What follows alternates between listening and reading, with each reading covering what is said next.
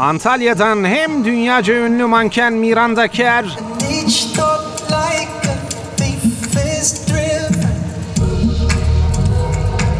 hem de Türkiye'nin megastarı Tarkan geçti.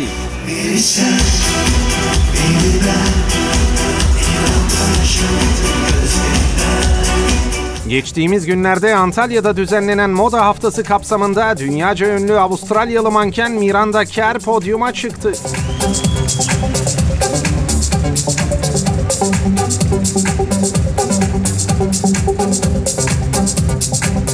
Podyumda dört farklı kıyafet taşıyan Miranda Kerr, kot pantolon giydiği kıyafetiyle podyumda yürürken bir anda ayağındaki siyah topuklu ayakkabı çıkıyor ve dünyaca ünlü manken sanki hiçbir şey olmamış gibi profesyonelliğini konuşturuyordu.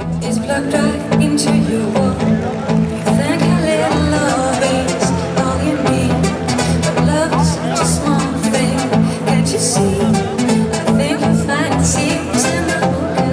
change just the words that you read.